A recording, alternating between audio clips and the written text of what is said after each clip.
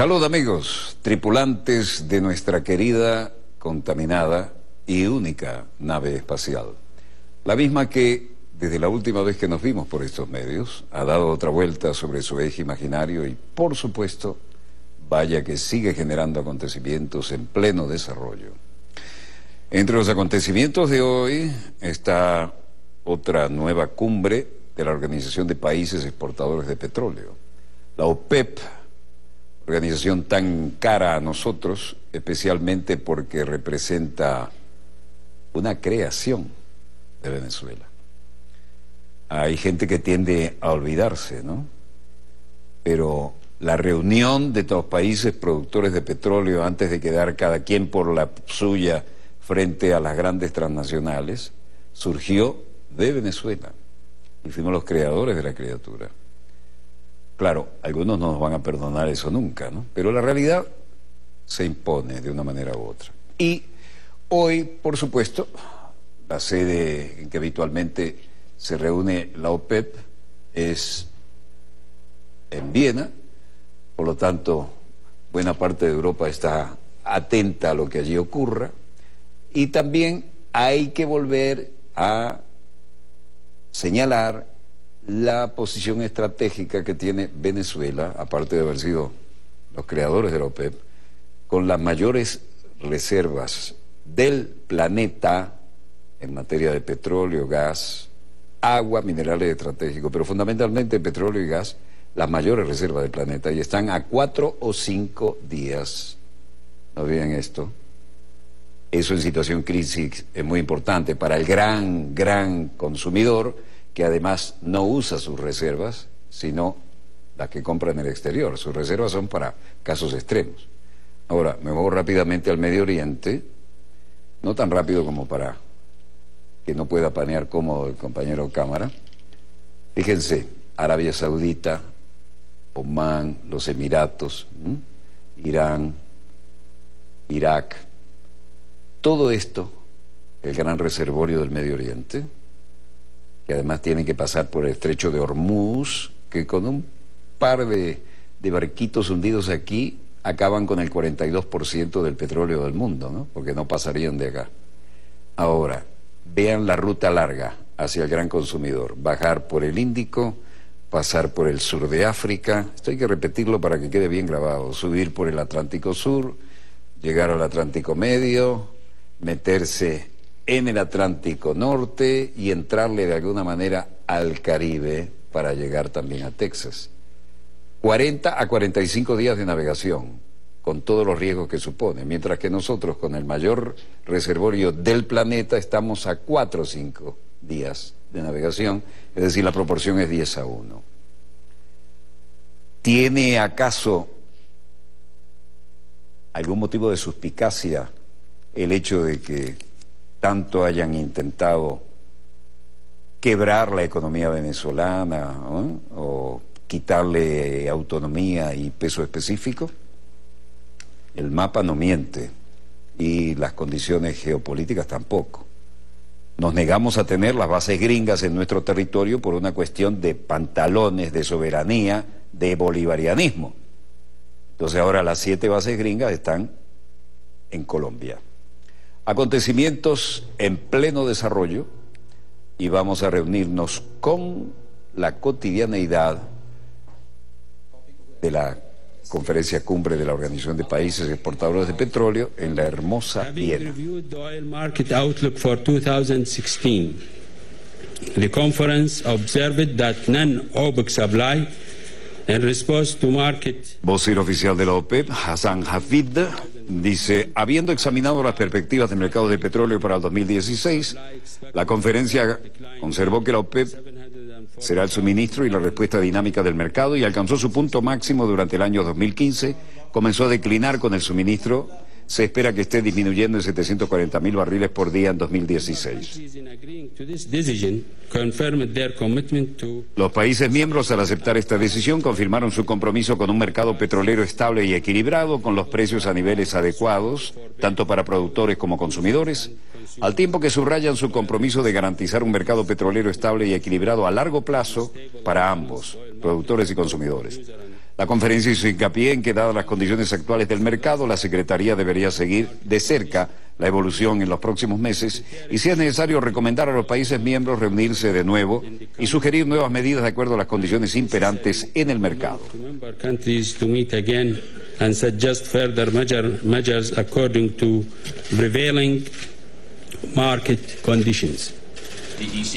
Luego, el secretario general Abdullah al-Badri dijo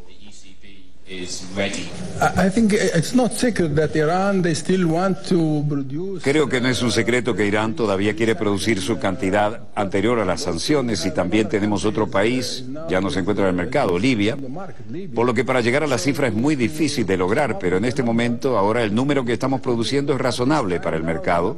El mercado está aceptando que el precio está mejorando, por lo que el mercado es muy positivo de acuerdo a cómo lo vemos, pero para llegar a un número y como uno quisiera completar las cosas, un país no se encuentra. Creo que el futuro vamos a llegar a ese número, pero en este momento el ambiente es positivo y el mercado es cómodo para nosotros.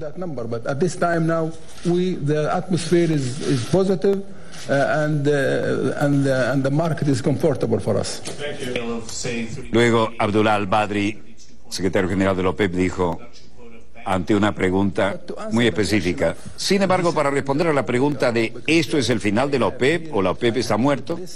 He oído estos comentarios tal vez cinco o seis veces en mi carrera y cada vez que escucho, bueno, cuando salimos de Yakarta hace tiempo, uno ya no me acuerdo del año, la OPEP estaba muerta.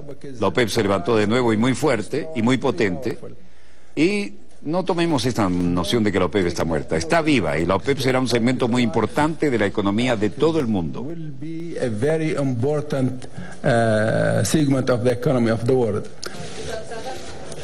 En suma, la OPEP parece no haber logrado un acuerdo sobre su política de producción y Arabia Saudita ha salido a calmar al mercado. Bueno, también Arabia Saudita necesita protección, ¿no? Ah, en Viena, Arabia Saudita prometió este jueves no inundar el mercado petrolero de barriles adicionales, pese a que la OPEP no logró ponerse de acuerdo con su política de producción, al tiempo que Irán insistió en su derecho de elevar abruptamente su suministro. Las tensiones entre el reino musulmán suní y la República Islámica de mayoría chiita han sido uno de los puntos destacados en varias reuniones anteriores de la OPEP, particularmente la de diciembre, cuando el grupo no pudo fijar un objetivo formal de producción por primera vez en años. Las tensiones disminuyeron el jueves, al tiempo que el nuevo ministro de Energía de Arabia Saudita, Khalid Al-Falih, demostró que Riyadh quería ser más conciliador y la OPEP decidió por unanimidad designar al nigeriano Mohamed Barkindo como el nuevo secretario general del grupo. Varias fuentes de la OPEP dijeron que Arabia Saudita y sus aliados del Golfo Pérsico trataron de proponer la fijación de un nuevo límite de producción en un intento por establecer y subrayar de nuevo la importancia del cártel y por fin, una lucha por la participación en el mercado que ha debilitado los precios y reducido la inversión. Esa es la lucha a la que hay que poner fin. ¿no?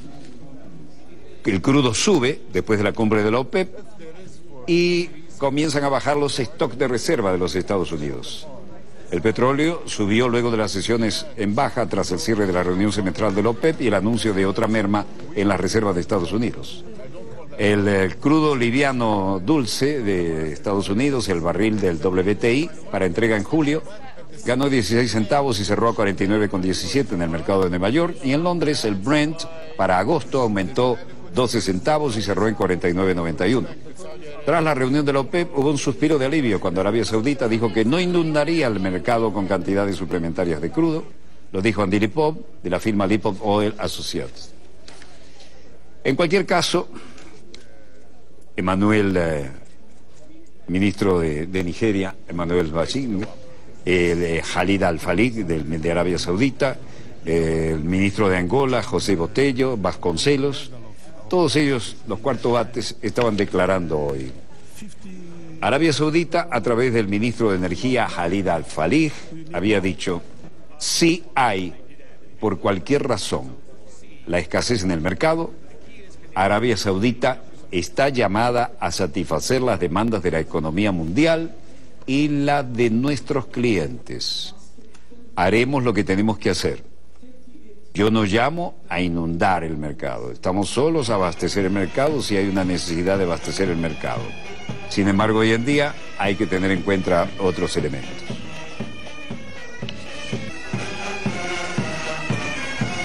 En Amán, Jordania, se celebra el centésimo aniversario de la gran revolución árabe con un despliegue militar y una importante parada militar.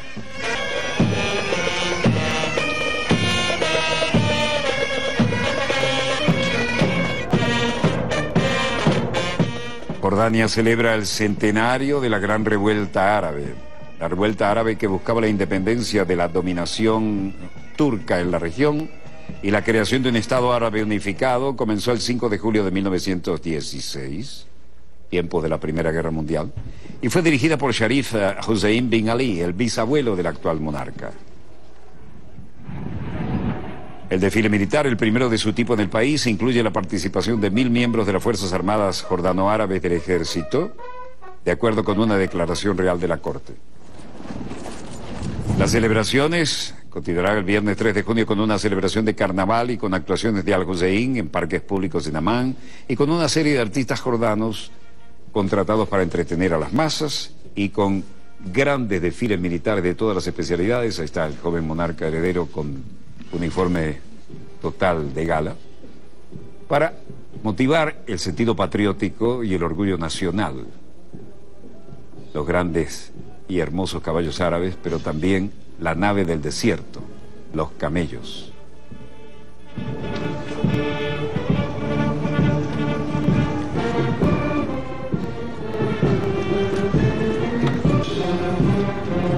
Este desfile militar, con una evidente influencia de la escuela británica en el orden cerrado, es el primero de su tipo en el país.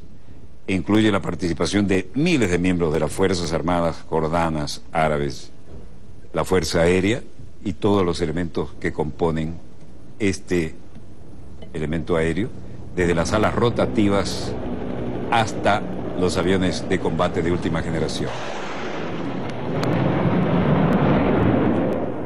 Espectacular ruptura de esa formación diamante, una demostración del estado de preparación y un mensaje a cualquier enemigo potencial. La celebración van desde el viernes hasta los siguientes días. Y en Ramallah, en la margen occidental del Jordán, había reuniones con el canciller palestino Riyad al-Maliki y el canciller eh, de Finlandia, Timor Sioni. Al-Maliki decía, la iniciativa francesa y la reunión que se está llevando a cabo, que tendrá lugar mañana en París, con suerte, ya saben, se confirmará una vez más la solución de la necesidad de dos estados y la necesidad de un mecanismo de seguimiento que nos permita ver progreso en el terreno y poner fin a la ocupación y el establecimiento del Estado palestino sea legal junto al Estado de Israel como parte de la solución de dos estados. Luego, el canciller finlandés dijo, la solución de dos estados es la estructura de lo que esperamos ver y seguir adelante para que se solucione esto. Y si Finlandia puede estar en cualquier ayuda para facilitar de cualquier manera el tema, estamos contentos de hacerlo porque no queremos ver más derramamiento de sangre, porque se trata de seres humanos, se trata de políticos electos por nuestra gente y es nuestra responsabilidad trabajar en pro de la paz. El canciller finlandés se reunió con los líderes palestinos y antes de reunirse con el presidente palestino Mahmoud Abbas y depositar una corona en la tumba del fallecido presidente Yasser Arafat, Sioni se reunió con su homólogo palestino Riyad al-Maliki. Después de una reunión de ministros, entregaron un comunicado conjunto. La iniciativa francesa, esta es la Mucata, ¿no? La entrada a la gran casa de seguridad, donde normalmente, de no haber tenido la extraña muerte que tuvo, estaría Yasser Arafat todavía. La iniciativa francesa y la reunión que se lleva a cabo ha estado esta mañana en París, seguirán en las próximas horas en la capital gala y con suerte confirmarán una vez más la necesidad de buscar la solución de dos estados que permitan el progreso en el terreno. Los palestinos han acogido un foro de este tipo. Israel, como siempre, se opone a la reunión diciendo que solo las conversaciones directas con los palestinos puede traer la paz. Israel teme que podría enfrentarse a una fuerte presión mundial para que haga al fin las obligatorias concesiones respecto a los palestinos, una vez que los ministros de Relaciones entre, de Exteriores y entre ellos nada menos que el secretario de Estado John Kerry, se reúna con ellos en París, aunque le duela a Israel. Este momento de la ofrenda floral en la tumba de Yasser Arafat.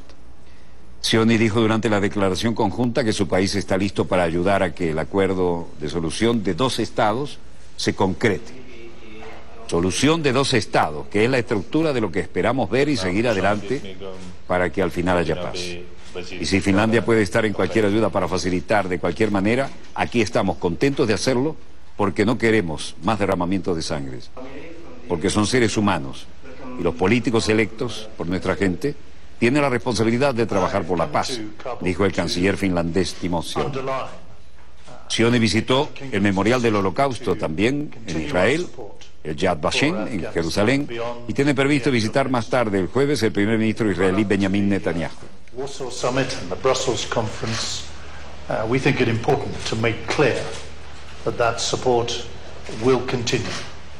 Secretario de Defensa británico Michael Fallon dijo he venido a Kabul para subrayar la decisión del Reino Unido de mantener el apoyo a Afganistán más allá del final del año próximo. En el periodo previo a la cumbre de Varsovia y la conferencia de Bruselas creemos que es importante para el apoyo y este continuará. Corresponde ahora a los talibanes, a los elementos moderados de los talibanes, afrontar el futuro de Afganistán y al regresar a las conversaciones para estar en la reconciliación que está en oferta. Si no hacen eso, deberían tener la duda de la determinación de la comunidad internacional y en particular de Gran Bretaña. Estamos esperando que cumplan con el desafío al que se han enfrentado aquí. El Reino Unido reafirma su compromiso a largo plazo con Afganistán. El ministro británico de Defensa Michael Fallon visitó por sorpresa Kabul y reafirmó ese compromiso. Corea del Norte, Pyongyang, gran demostración.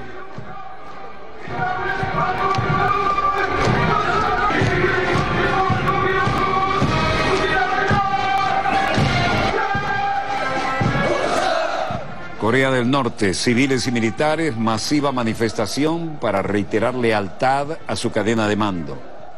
Masiva en Pyongyang para prometer lealtad al partido después del séptimo Congreso del Partido de los Trabajadores de Corea del Norte.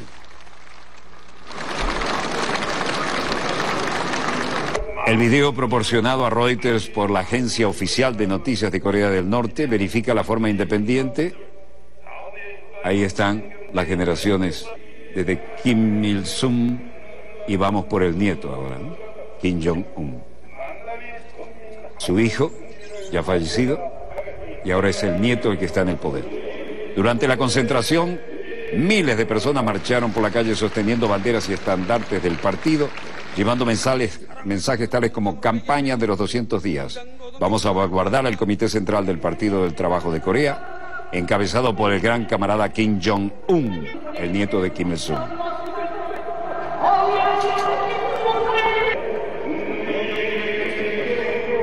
La semana pasada Corea del Norte declaró en una campaña de 200 días de lealtad para implementar la estrategia cinco años para el desarrollo económico del Estado. Así lo fijó el Congreso del partido. Kim Jong-un establece el plan para reactivar la economía chirriante de un país aislado, aunque fue corto en los objetivos y la parte ha sido sobria. Corea del Norte intentó disparar un misil desde su costa este el martes y esto ha puesto también en tela de juicio las relaciones internacionales. Chu Wen-hyuk, vocero de la Cancillería de Corea, dijo, nuestro gobierno valora altamente que esta medida refleja la firme voluntad de Estados Unidos para llevar a cabo fielmente la resolución 2270 del Consejo de Seguridad de la ONU y de sus propias sesiones contra Corea del Norte que imponen la desnuclearización y la modificación a fondo de lo que ocurre en el norte. Esta era la respuesta de Corea del Sur en Seúl a través de Junyo Hyu Cho en la Cancillería por el apoyo de Estados Unidos para tranquilizarlos otra vez. Esperamos que la medida tenga más efecto de largo alcance mediante la designación de Corea del Norte. Todos los bancos de Corea del Norte serán designados para evitar lavado de dinero, entre otras cosas. Estados Unidos refuerza las sanciones financieras contra Corea del Norte y eso tensa la situación. En Beijing, China, la vocera de la Cancillería, Hua Chunying, señalaba hoy en la rueda de prensa habitual. 安理会已经通过了相关的决议，所以我们认为安理会的成员和国际社会的有关各方呢。 China se opone a más sanciones a Corea del Norte y dijo, el Consejo de Seguridad de la ONU ya ha aprobado la resolución relativa a este tema. Creemos que los miembros y todas las partes involucradas deben aplicarse a fondo por completo en la resolución del Consejo de la ONU. en cuanto a las sanciones unilaterales, nuestra posición ha sido consistente. No oponernos sistemáticamente a aplicar sanciones a otro país sobre la base de sus leyes internas. Ahora, teniendo en cuenta la situación actual, como acabo de mencionar, creemos que todas las partes deben aplicarse a fondo y completamente en buscar resoluciones conexas a las del Consejo de Seguridad de la ONU por un lado restringir o impedir la capacidad de Corea del Norte para desarrollar aún más sus planes de armas nucleares, pero al mismo tiempo todas las partes deben persistir en dedicar su esfuerzo a la solución pacífica de los problemas a través del diálogo. Seguimos en la Cancillería china y China se opone definitivamente a imponer más sanciones a Corea del Norte. Gran reunión hoy, hablaba el viceministro de Relaciones Exteriores, Shen y decía, las islas en el mar del sur de China han sido siempre parte del territorio chino desde la antigüedad y China tiene todo el derecho de salvaguardar su propia soberanía territorial y sus legítimos derechos e intereses marítimos. Hemos mantenido el compromiso de salvaguardar la paz y la estabilidad en el mar del sur de China. Esto ha persistido en la gestión de conflictos a través del diálogo y la solución de la cuestión pacífica a través de negociaciones y consultas. Esto a fin de lograr el beneficio mutuo y un escenario en el que se aplique ganar-ganar. China espera que Estados Unidos cumpla su compromiso de no tomar partido y corrija su postura de acuerdo con el bien o mal, pero no de acuerdo a sus aliados. Viceministro de Relaciones Exteriores chino fue tajante. Mar Meridional de China está en agenda en el diálogo anual China-Estados Unidos y es nuestro derecho actuar con soberanía en él. Las partes china y estadounidense intercambiarán puntos de vista sinceros y profundos en relación con temas importantes y sensibles de interés común. Dice, vean la cantidad de gente que asistió a esta rueda de prensa. Dice, canciller destacó que las islas del mar del sur de la China han sido territorio de China desde tiempos inmemoriales y China tiene todo el derecho a salvaguardar su propia soberanía territorial y sus derechos marítimos legítimos. Estamos comprometidos con el mantenimiento de la paz y la estabilidad en el mar meridional de China y hacer continuos esfuerzos para controlar las diferencias a través de diálogo y resolver los problemas de manera pacífica a través de negociaciones y consultas.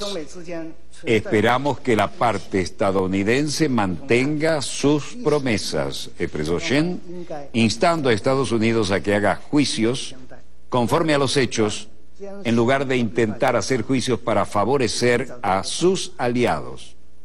Shen dijo que Estados Unidos no es un demandante en las disputas en el mar meridional de China y se ha comprometido a no tomar partido en asuntos relacionados en la soberanía territorial. Bueno, fluida situación y hay una especie de guerra fría allí, ¿no? Desarrollo de China no amenaza a ningún otro país y estos eran de igual manera los que se reflejaban en las conferencias bilaterales, aunque no fueran explícitas, como acá en Berlín, donde Merkel y se creía con el secretario general de la ONU, Jens Stoltenberg, quien dijo, no estamos en una nueva guerra fría, pero estamos en la asociación estratégica que trataron de desarrollar con Rusia después del final de la Guerra Fría. Lo que vemos es una Rusia más asertiva, no vemos ninguna amenaza inminente contra los aliados de la OTAN. Pero vemos en Rusia que durante un largo periodo de tiempo ha invertido mucho en las capacidades de defensa, en la modernización de sus Fuerzas Armadas, y nosotros hemos visto Rusia dispuesta a utilizar la fuerza militar para cambiar las fronteras de Europa desde el final de la Segunda Guerra Mundial, con la anexión ilegal de Crimea ahora, por lo tanto la OTAN tiene que responder. Y eso es exactamente lo que estamos haciendo. Nuestro mensaje es que no buscamos la confrontación con Rusia, no queremos otra carrera de nuevo. Pero estamos combinando el mensaje de defensa colectiva con un mensaje muy fuerte sobre el diálogo que queremos y queremos mantener la oportunidad para el conflicto, eh, el, el contacto político abierto con Rusia. Y vamos a seguir luchando por una relación más cooperativa y constructiva con Rusia. Bueno, más conciliador no pudo haber sido. La OTAN aboga por relaciones más transparentes con Rusia. Creo que por lo menos debemos aspirar a unas relaciones predecibles y transparentes, dijo. Y después de la reunión con Angela Merkel, Stoltenberg indicó a la vez que la fecha para el posible encuentro con el Consejo sigue siendo sin acordarse y espera que tenga lugar pronto. Un avión de la Fuerza Aérea de los Estados Unidos se estrella en Colorado justo en la gran demostración en el día de graduación de la Academia de la Fuerza Aérea que precisamente tiene lugar en ese estado. La escuadrilla de acrobacia de los Thunderbirds, uno de los componentes, se estrelló y el portavoz de la Fuerza Aérea, el teniente coronel Heffler Howard, dijo que el piloto logró usar el mecanismo de eyección de su asiento, no ofreció mayor información sobre la condición del piloto. No se reportaron heridos en tierra. Obama se encontraba en los actos de graduación cuando ocurrió el accidente a 15 millas al sur de la institución en Colorado Spring, en la academia. Vean ese pasaje, nariz arriba, al borde de la pérdida, eso supone una gran, gran combinación de factores, a una velocidad sumamente baja. Y ese rasante al estilo de los Thunderbird. Obama se encontraba en los actos de graduación cuando ocurrió el accidente en Colorado Spring. En la academia, Obama se tomó foto con los presentes antes de regresar a Washington, como es tradicional. Y los Thunderbird hicieron una espectacular demostración, como de costumbre, Perdieron un avión, pero no el piloto que se eyectó a tiempo. Es el escuadrón de demostración aérea de la Fuerza Aérea de los Estados Unidos. El equipo empezó con una formación de tres aviones históricamente y más tarde se unió una cuarta y actualmente la formación tiene seis aviones, más una usada como reserva o para ofrecer vuelos a personalidades.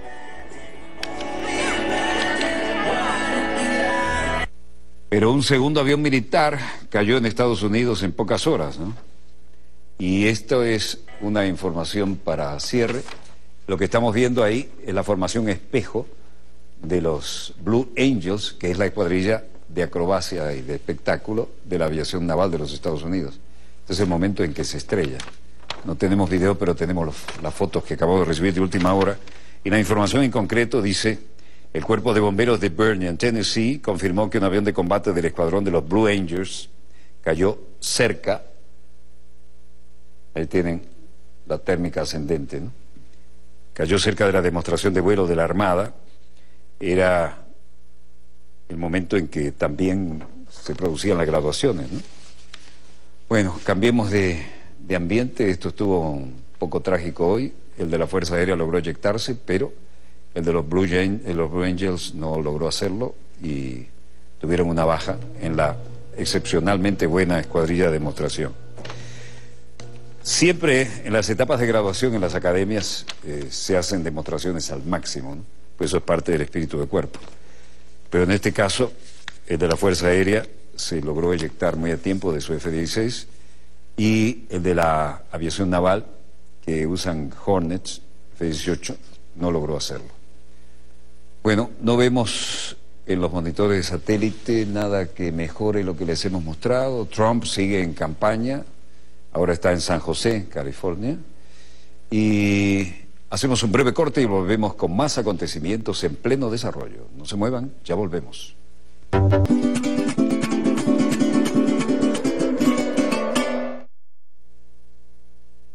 Volvemos con más acontecimientos en pleno desarrollo y tenemos aquí la información de la Armada sobre las actividades operacionales del Bravo Eco 11.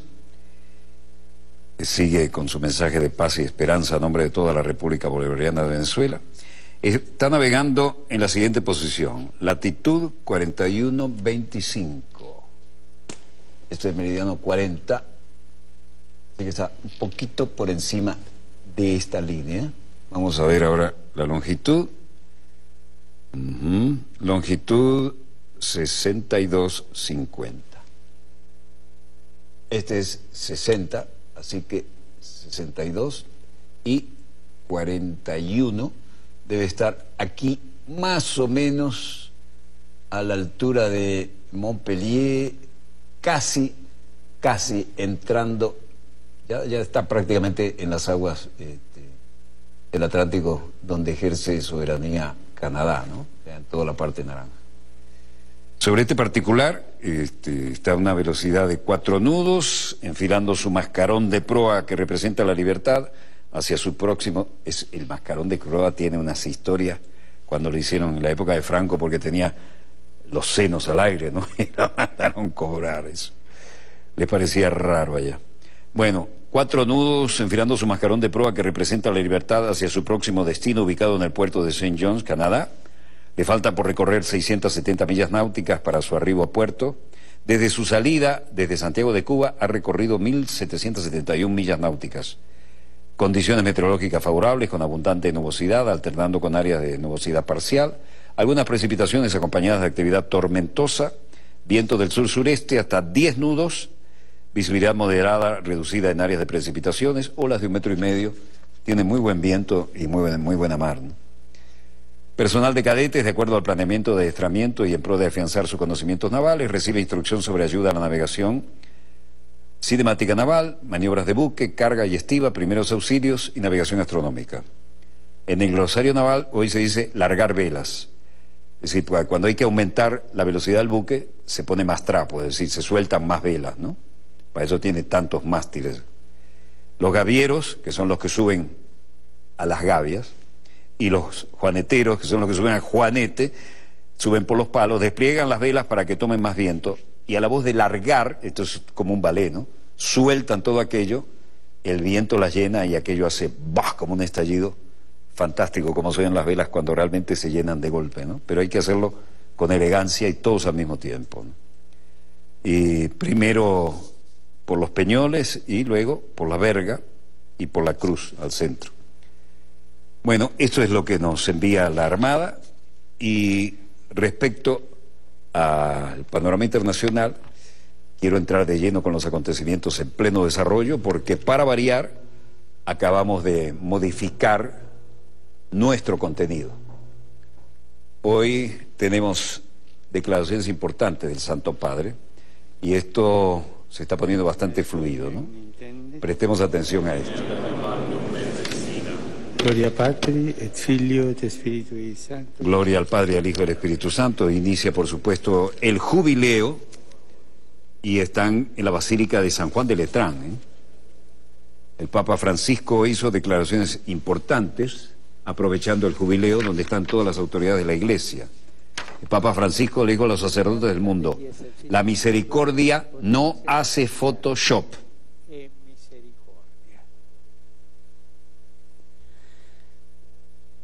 El Papa Francisco ha pedido a los sacerdotes del mundo que practiquen la misericordia, que no se hace con un Photoshop, sino que se teje con un hombre nuevo a partir de sus pecados. Questo è proprio della misericordia. Esto es propio de la misericordia. Se pone en sus manos sucias, se toca, se involucra, se ve atrapado con los demás y se convierte en algo personal. No acercarse a casos. No se trata de casos. Se trata de personas con su dolor, Así que podemos ver el lenguaje que usamos, con qué frecuencia, sin darnos cuenta, decimos, oh, tengo un caso, y se detiene, eh, tengo una persona, o se trata de una oficina muy... Guardiamo al nostro linguaggio, eh? Quante volte... Tengo un caso, he encontrado un caso, a menudo sucede a mí también. Hay un poco de clericalismo allí, angiografías de la concreción del amor a Dios. Lo que Dios nos da, la persona, es un simple caso Así que cómo nos manejamos y las cosas, cómo nos tocamos, así como nosotros nos ensuciamos las manos y pensamos que desempeña un servicio limpio y elegante, con una abertura estrecha. Esa es la forma en que hay que actuar. El riesgo, y o si no, nada. E così mi distacco e non mi tocca. E così non mi sporco le mani. No es cuestión de que no me toque el caso y no me ensucio las manos. Hay que ir a fondo en la solidaridad. Dove non rischio niente. Más de 6.000 sacerdotes de todo el mundo se han congregado en las tres basílicas papales de Roma, San Juan de Letrán, Santa María la Mayor y Pablo Extramuros, para escuchar las tres meditaciones del pontífice. La misericordia no nos pinta desde afuera una cara de buenos, no nos hace el Photoshop, sino que con los hilos mismos de nuestras miserias, con esos y con nuestros pecados, con esos entretejidos con amor de Padre, nos teje de tal manera que nuestra alma se renueva recuperando su imagen, la de Jesús, subrayó y enfatizó el Papa Francisco en su segunda meditación. En ese sentido, ha instado a los sacerdotes a no caer en la tentación de pedir el traslado al obispo. No, no, no. No se dejen arrastrar por la vana búsqueda de cambiar de pueblo, como si el amor de Dios no tuviese bastante fuerza para cambiarlo.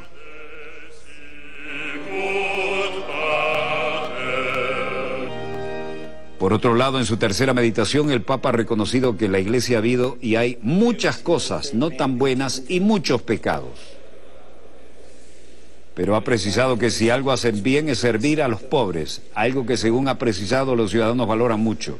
Y asimismo ha advertido de pecados de los curas, como apegarse al dinero o convertirse en funcionarios o en mercenarios. Atenas llega un avión de la presidencia francesa, primer ministro francés Manuel Valls, traducido en sus declaraciones en esta importante jugada geopolítica, a el hombre dice que llega a Grecia para mantener conversaciones sobre la cooperación económica y el tema importantísimo de los refugiados. Primer ministro francés Manuel Valls llegó a Atenas hoy para una visita oficial de dos días y apoyar la recuperación económica de Grecia a través de inversiones. Claro, porque si no, los griegos también se van hacia los demás países de Europa, ¿no? No crean que esto es pura solidaridad cristiana. Manuel Valls estuvo acompañado por el ministro de Finanzas de Francia, Michel Sapin, el secretario de Estado para Asuntos Exteriores, Alain Désir. Antes de su llegada a Valls, y tuvo una entrevista con el periódico Mireni de París, había instado a las empresas francesas a examinar las perspectivas de inversión en Grecia para impulsar la recuperación económica. El primer ministro francés ha adoptado una postura firme en contra del sindicato de la CGT de línea dura, poderoso sindicato francés, que ha promovido huelgas en Francia, el cierre de refinerías e interrumpido el suministro de combustibles y reiteró que Francia seguiría apoyando a Atenas en conversaciones con sus prestamistas oficiales. Y dijo, hemos apoyado a Grecia queda en la zona euro, ya no era posible que nosotros pensáramos que su país, Grecia, la cuna de la civilización, un país con una historia tal, podría salir de la zona euro. N'oublions pas en effet que la Grèce est aux avant-postes. C'est la frontière de l'Union européenne. Euh, Compartimos muchos desafíos comunes, tales como la migración de los refugiados. Por supuesto, no nos olvidamos que Grecia está a la vanguardia y es el primer país al que los refugiados llegan. La sécurité comme la protection euh, de nos frontières doit être une priorité pour l'Union européenne. La seguridad de nuestras fronteras y la protección es un tema común para, para la Unión Europea. El acuerdo con Turquía debe ser respetado por todas las partes. La seguridad y la protección de nuestras fronteras deben ser una prioridad para toda la Unión Europea, enfatizó el primer ministro francés. No era posible que nosotros pensáramos que su país, Grecia, la cuna de la civilización, fuera a quedar olvidado. Bueno.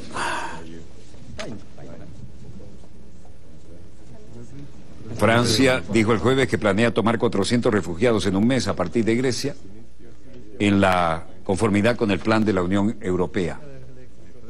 Y después de la reunión con el presidente griego, Valls asistió a una cena oficial en el palacio con el primer ministro Alexis Tsipras, aquí lo tenemos en pantalla, siempre sin corbata.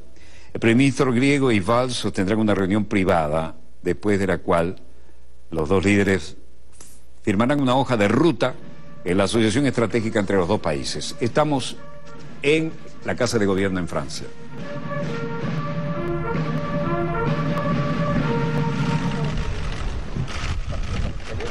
A paso firme y es recibida por el primer mandatario, la jefa de gobierno de Chile, Michelle Bachelet, Y aquí hubo declaraciones importantes de parte del presidente francés. Francia reconoce a Chile como ejemplo de democracia y de éxito económico. Reunión amplia, una bilateral con numerosos jefes de gabinete, numerosos integrantes de gabinete de ambos eh, jefes. Y en la esperada rueda de prensa, François Hollande dijo. Faire en sorte qu'au Venezuela une solution puisse être trouvée. Porque no escatimamos esfuerzos para asegurar que una solución se pueda encontrar para Venezuela, por lo que la crisis que se está amplificando hoy puede reducirse en el marco democrático y el del respeto a los derechos.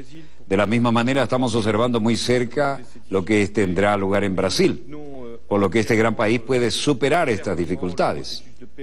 Estamos apoyando totalmente y con firmeza el proceso de paz en Colombia, que actualmente está viendo cambios, por lo que debería terminar felizmente. Retirarse ahí. Hemos también invitado al presidente, informado que a partir del 1 de julio Chile preside la Alianza del Pacífico. Hemos invitado que autoridades del gobierno francés puedan participar siendo estados observadores eh, y discutir ahí la relación que Francia, qué espera Francia de la Alianza del Pacífico y cómo podemos seguir trabajando juntos. Y tal como era señalado, hemos echado una discusión, una mirada sobre nuestra América Latina, sobre Venezuela, sobre Brasil, sobre Colombia, sobre Haití.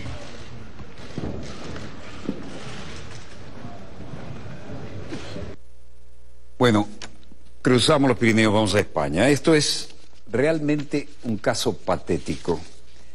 Voy a leerles lo que esta dama dijo y luego escucharán su testimonio. Lo acabamos de recibir. No me hablen de Venezuela, el desesperado pedido de una española desempleada con 42 años, dos hijos, sin trabajo desde 2012. Una dama española llamada Yolanda García grabó un video y lo subió a su perfil de Facebook. En el mismo hizo varios reclamos a sus compatriotas, comillas, que voten con responsabilidad, que se comprometan con sus derechos y sobre todo que dejen de hablar de Venezuela, cierre de comillas. Venezuela, a mí no me hablen de Venezuela, expresa la dama, desesperada y cansada de que los medios de comunicación y algunos candidatos se preocupan más por lo que ocurre en Caracas y en Venezuela que lo que pasa en su propia España. García no tiene trabajo desde 2012 cuando perdió su empleo como profesora interina en un instituto y vive con sus dos hijos sin ningún subsidio, solo con lo que le aporta su ex marido. Y publicó desesperada el video que van a ver. Sin embargo, sabe que no es la única en esa desesperada situación. ¿Cuántos millones de personas estamos así en España? ¿Cuántos suicidios por desahucios, exclusión social, pérdida de empleo y nada sale en los medios de comunicación? se preguntó y de inmediato reclamó que no le cuenten nada de un país del otro lado del mundo solo para tratar de meternos miedo en esta sociedad. Sus compatriotas no quedaron fuera del reclamo y tras afirmar que por desgracia muestran más bríos y la unidad para ver un final de fútbol que para luchar por sus derechos o enfrentar a quienes han llevado al país a esta situación. 40 años de expoliación en España. Los instó entre lágrimas a pensar bien a quién votar el próximo 26 de junio en los comicios generales, ignorando lo que digan los medios de comunicación.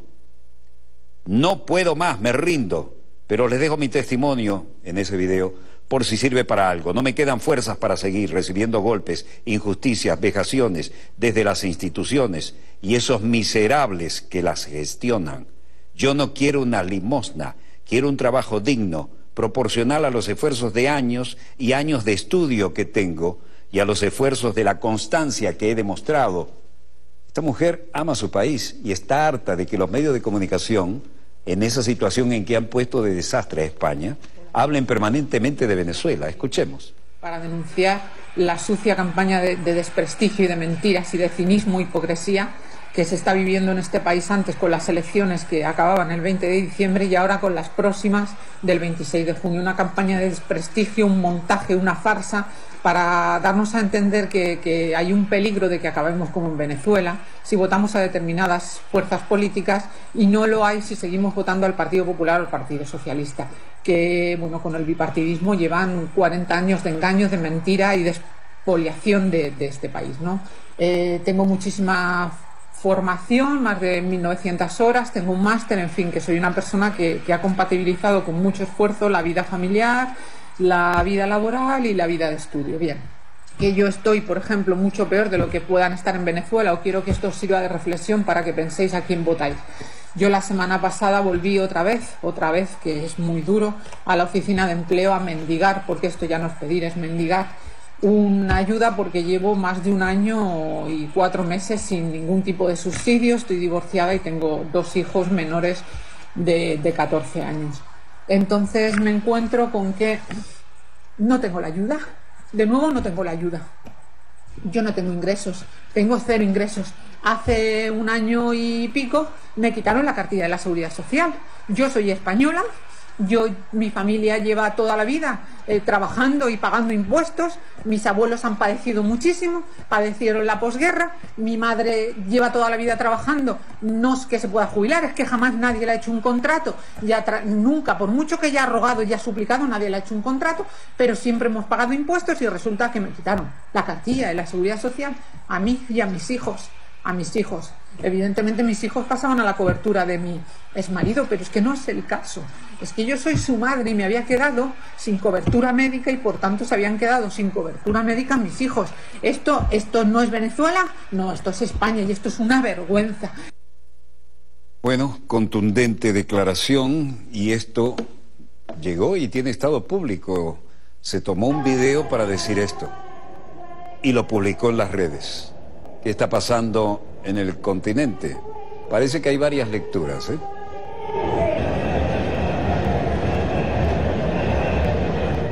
Argentina limita las alzas de tarifas de energía tras protestas sociales y empresariales.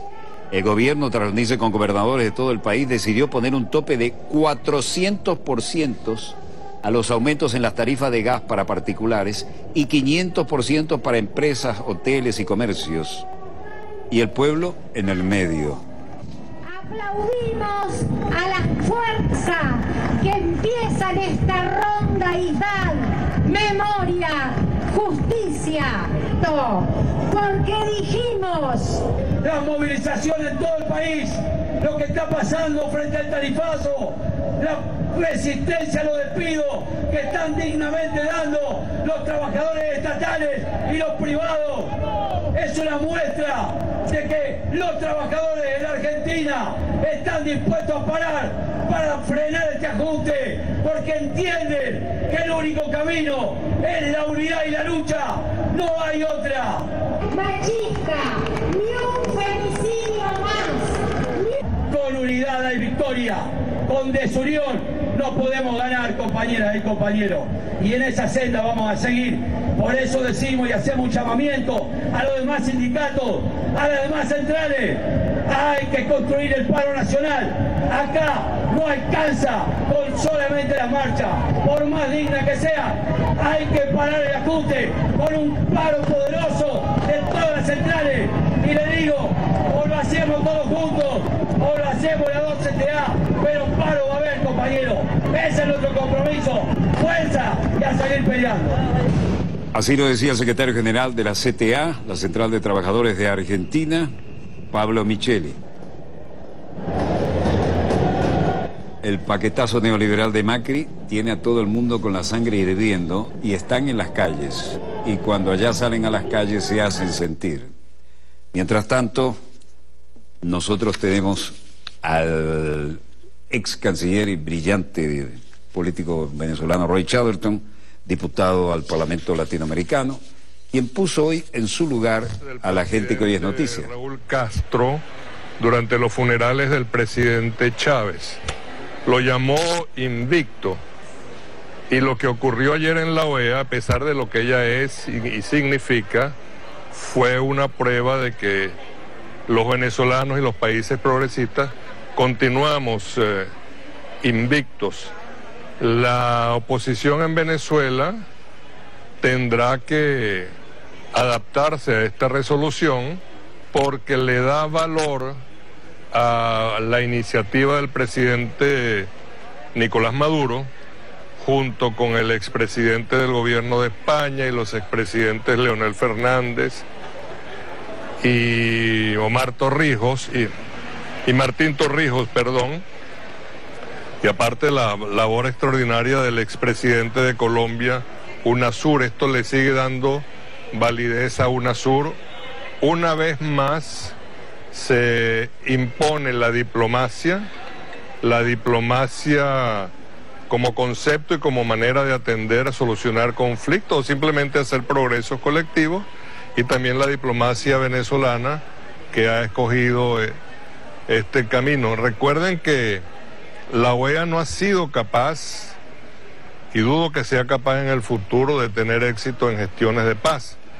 A propósito de Leonel Fernández, estoy recordando que a raíz del conflicto eh, entre Colombia y el Ecuador, en la República Dominicana y con una intervención muy inteligente del presidente Leonel Fernández y de nuestro presidente Chávez, se pudo solucionar en ese nivel el, el conflicto y, y abrir pasos para la reconciliación entre el Ecuador y Colombia. Posteriormente, en el caso de Honduras, la OEA no pudo, la OEA fracasó. Hubo palos en la rueda desde el comienzo cuando tomó la decisión de, de separar o de suspender a Honduras de su condición de miembro de la OEA y fue la intervención de los presidentes Santos, Chávez, Zelaya y el presidente Lobo lo que permitió abrir el paso hacia la paz. Estas son excelentes señales, excelentes por una, por una simple razón, porque ni todo el poder de los Estados Unidos puede lograr convertir a, a la OEA en lo que fue antes. Y en este sentido yo quisiera hacer una evocación. Ustedes saben que Uruguay es un país que produce gigantes. Uruguay ha producido gigantes como obviamente Artigas, pero podríamos hablar de Galeano, de Benedetti, de Liber Sereñi, de Biglietti, de Juan, Juan Gelma y de Mujica. Y, y sin embargo a veces se le escurren algunos de menor estatura. Hubo un secretario general de la OEA llamado José Antonio Mora, que sirvió no al continente y mucho menos al Uruguay, sino a, a los Estados Unidos como un mayordomo de los Estados Unidos.